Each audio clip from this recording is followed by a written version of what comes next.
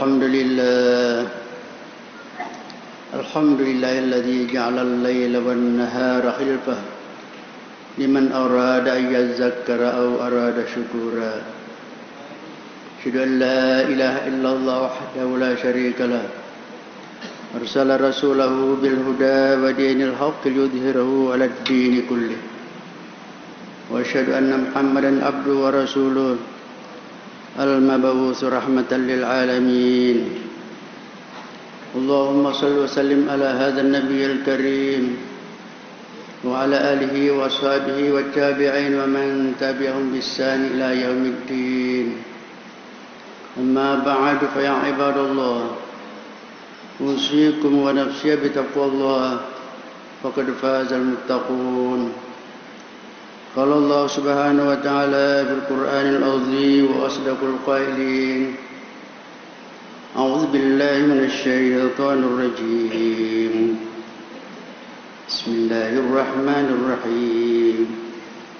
إن عدة الشهور عند الله اثنا عشر شهرا في كتاب الله. يوم خلق السماوات والأرض منها أربعة هرم ذلك الدين القيم فلا تظلموا فيهن أنفسكم صدق الله العظيم Hadirin kaum muslimin jamaah Jumat yang dirahmati Allah Subhanahu wa taala.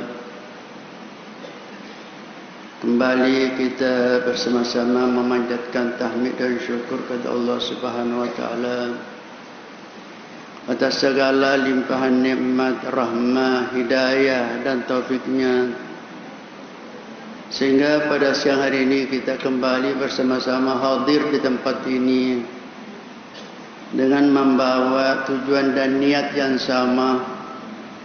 Yakni insyaallah kita akan bersama-sama melaksanakan kewajiban kita sebagai umat mukmin umat muslim yang taat. Yakni akan melaksanakan salat Jumat secara berjamaah Salam dan salawat juga senantiasa kita mengirimkan kepada junjungan kita Rasulullah Muhammad sallallahu alaihi wasallam Nabi sebagai akhirul anbiya wa imamul mursalin. Wa uswatun wa qudwatun hasanah bagi kita semuanya. Hadirin jamaah yang dimati Allah subhanahu wa ta'ala Hari ini kita berada pada Jumat pertama tahun baru 1443 Hijriah. Yakni kita sudah melewati dan sudah ditinggalkan tahun 1442 Hijriah. Kita sudah berada pada hari yang keempat dari bulan Muharram tahun baru Hijriah kita umat Islam di Indonesia ada dua sistem kalender yang kita pakai. Ada kalender miladia, ada kalender hijriyah. Tapi kelihatannya kalender miladia lebih akrab dan lebih familiar bagi kita umat Islam di Indonesia dibanding daripada kalender hijriyah. Tentu pertanyaannya kenapa bisa demikian? Kalender miladiah lebih akrab bagi kita karena memang sejak kita dulu pernah dijajah oleh bangsa lain itu memang itulah yang selalu digunakan sampai sekarang itulah yang masih digunakan meskipun ada kalender hijriah tanggal-tanggal hijriah tapi rupanya kita masih banyak yang terkadang melupakan. Maka mungkin di antara kita masih ada yang belum hafal nama-nama bulan-bulan hijriah. Dibanding dengan nama bulan-bulan miladiah, anak kita pun di SD sudah hafal mati dari bulan pertama sampai bulan terakhir. Hadirin yang berbahagia, bulan atau tahun tahun miladia berbeda dengan tahun hijriah. Tahun hijriah itu jumlah harinya lebih sedikit dibanding dengan tahun miladia atau tahun masehi masehi masehi. Tahun miladia mempunyai hari dalam satu tahun 365. 365 hari dalam setahun. Sedangkan tahun Hijriah mempunyai hari yaitu 354 hari dalam satu tahun. Jadi dia lebih pendek. Jadi dalam satu tahun itu ada perbedaan 11 hari. Jadi ada selisih 11 hari dari tahun miladiah dibanding dengan tahun Hijriah. Oleh karena itu kita sebenarnya ini juga punya dua macam umur. Umur kita dalam miladia berbeda dengan kalau kita umur kita menghitung umur kita dalam tahun hijriah. Pemanya seorang mempunyai umur satu seratus tahun menurut perhitungan miladia, maka menurut perhitungan hijriah sudah ada lebih tiga tahun, seratus tiga tahun. Jadi kalau bapa mempunyai umur 50 tahun menurut miladia, menurut masehi, maka umur kita menurut hijriah sudah 51 tahun 6 bulan. Itu perbedaannya. Jadi kalau ditanya oleh orang berapa umurnya, bisa kita kembali bertanya. Yang ditanyakan berdasarkan kalender apa? Apakah Hijriah atau Masehi? Karena miladia itu berdasarkan peredaran matahari. Sehingga dikatakan tahun syamsiyah, tahun matahari. Sedangkan Hijriah berdasarkan dengan peredaran bulan. Sehingga dikatakan kamar tahun kamaria. Dan ternyata tahun-tahun bulan-bulan Hijriah itu sangat adil sekali dibanding dengan bulan-bulan miladia. Apa maksudnya adil? Bahwa semua bulan-bulan Hijriah pernah bersamaan dengan bulan-bulan miladia. Pemanya kita bulan puasa. Bulan puasa pernah menempati semua bulan-bulan miladia. Jadi kita pernah Desember, pernah Januari, pernah Maret, per, itu bulan puasa. Sehingga artinya adil. Sementara bulan-bulan atau tahun miladia umpamanya Desember itu adalah musim hujan. Dan itu tidak pernah bergeser. Sehingga tidak adil. Ada satu daerah itu selalu dapat hujan terus. Atau ada satu daerah dapat kemarau terus. Tapi bulan-bulan Hijriah Ramadan pernah musim panas, pernah musim dingin. Jadi kita apa itu namanya keadilan. Oleh karena itu ayat kita bacakan tadi dalam surah Taubah ayat 36. Inna iddat ash-shuhuri indallahi 12 syahran fi kitabillah. Yawma khalaqas samawati wal arda minha arba'atun hurum bahwa bilangan bulan jumlah bulan adalah 12 bulan. Dalam satu tahun ada 12 bulan.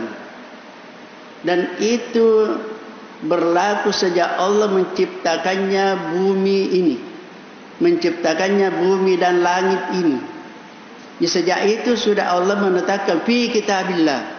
Allah sudah menetapkan di lauhi mahfud jumlah bulan 12 baik berdasarkan miladiah maupun berdasarkan hijriyah. Tetapi ada di situ minha arba'atul hurum. Ada empat bulan yang dihormati. Bulan haram. Artinya 12 bulan ini dalam ayat ini yang ditunjuk oleh Allah adalah bulan-bulan hijriyah Kenapa? Karena ada ditetapkan empat bulan namanya bulan hurum yang dihormati yaitu Zulkaidah, Zulhaji, Muharram kemudian ditambah dengan Rajab. Empat bulan ini ada bulan yang dihormati dan biarpun sebelum Islam masyarakat pada waktu itu juga menghormati boleh artinya menghormati tidak boleh ada peperangan pada empat bulan itu. Apapun yang terjadi kalau ada seorang membalas umpamanya terhadap orang yang pernah menganiaya dia, kalau kebetulan bulan itu ia tidak boleh melakukannya itu karena adalah namanya bulan-bulan haram, bulan-bulan yang dihormati. Hadirin yang berbahagia, jadi inilah tahun kita sekarang sudah masuki 1443. Pertanyaannya, kapan dimulainya itu?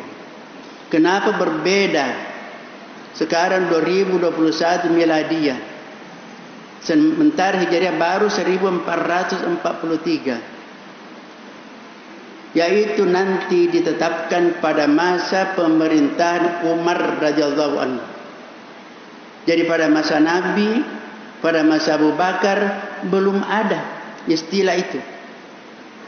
Jadi kalau kita melihat umurnya Nabi 63 tahun itu berdasarkan dengan tahun miladiah. Berdasarkan tahun miladiah. Dan Al-Quran juga menggunakan dua kalender ini. Ketika Allah mengisahkan peristiwa tidurnya Ashabul Kahfi dalam gua, Situ Allah berfirman wala bithu fi kaffin thalathatin sinin wasdadu tis'a. Ashabul Kahfi itu tidur dalam gua selama 300 tahun. Wazdadu tisa lalu mereka menambah 9 tahun. Apa maksudnya? Bahwa berdasarkan tahun miladi tahun Masehi bahwa Ashabul Kahfi itu tidur 300 tahun. 300 tahun tidur baru terbangun. Tapi berdasarkan Hijriyah yaitu 309 tahun. Jadi kalau 100 tahun miladiyah ada selisihnya 3 tahun hijriyah. Jadi Al-Quran menggunakan kedua-duanya. Oleh karena itu kita tidak perlu perselisihkan. Perselisihkan mensalahati kedua-duanya kita boleh pakai. Hanya mungkin yang perlu kita semua Islam. Kalau bisa kita mendahulukan tahun hijriyah. Dan itu ditetapkan oleh Umar bin Khattab. Penyebabnya Umar bin Khattab kalau kita lihat sejarah bahawa pernah ada seorang gubernurnya di Irak Abu Musa al-Ashari. Pernah menerima surat dari Umar. Surat itu ada tanggalnya ada bulannya disebutkan Syaban tapi tidak ada tahunnya. Tidak ada tahunnya. Jadi gubernur ini mengirim surat kepada Umar menanyakan ini Syakban ini Syakban yang mana? Apakah Syakban tahun lalu atau Syakban tahun ini atau Syakban tahun akan datang? Karena tidak disebutkan tahunnya. Karena memang belum ada. Belum ada waktu itu. Sehingga orang dulu itu kalau menanyakan tahun bukan mengatakan tahun berapa, tapi mengatakan tahun tahun apa.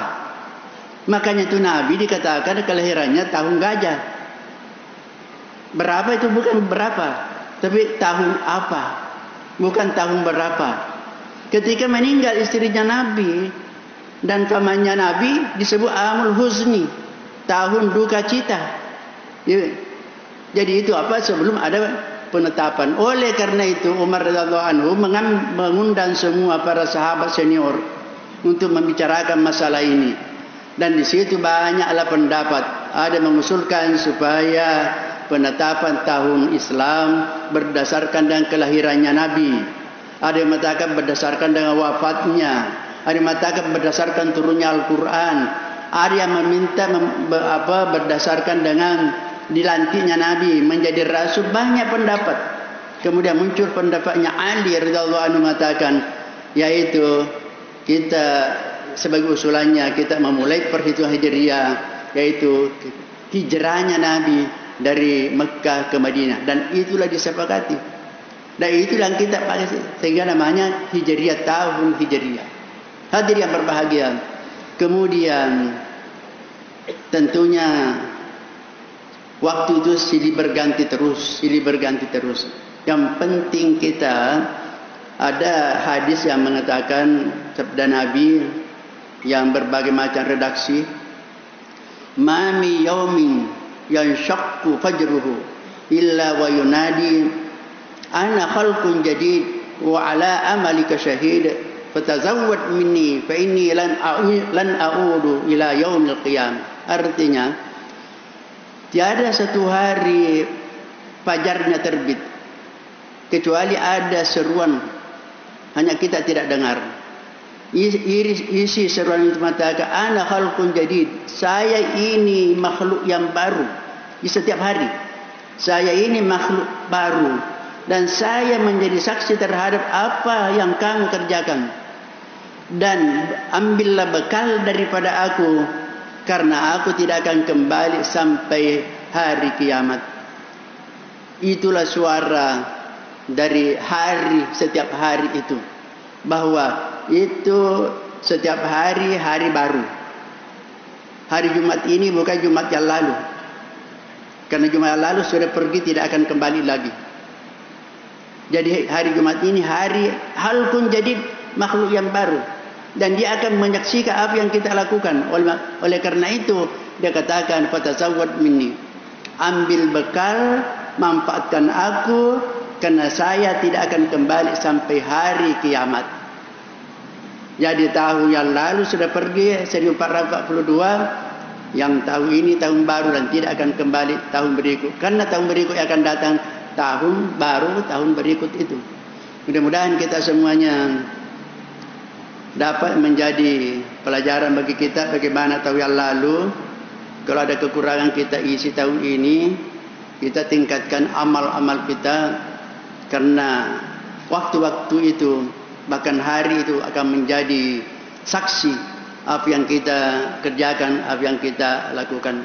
Mudah-mudahan semua kita diberikan kesehatan oleh Allah sehingga kita menjalani tahun baru ini dan diselamatkan dari wabah termasuk wabah pandemi ini. Mudah-mudahan Allah dengan segera menarik kembali daripada musibah yang menimpa kita ini. Barakallahu li wa lakum fil wa nafa'ani wa iyyakum fi ma ayati wa hakim minni wa minkum tilawatahu innahu was-sami'ul alim